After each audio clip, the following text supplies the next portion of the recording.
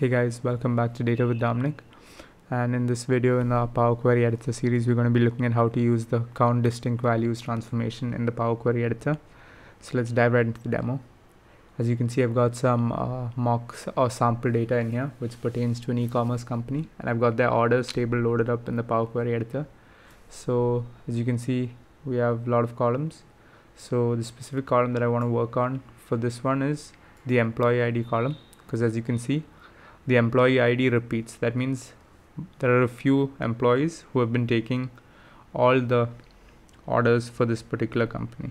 So just to be clear if you want to know how many rows are in this particular table we can hit the count rows. And as soon as we hit the count rows we can see that there are 830 rows.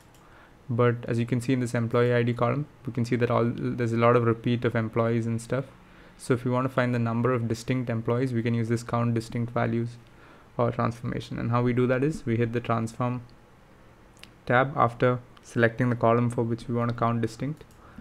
Hit the transform, come over to this number column section into the statistics, and then we hit count distinct values.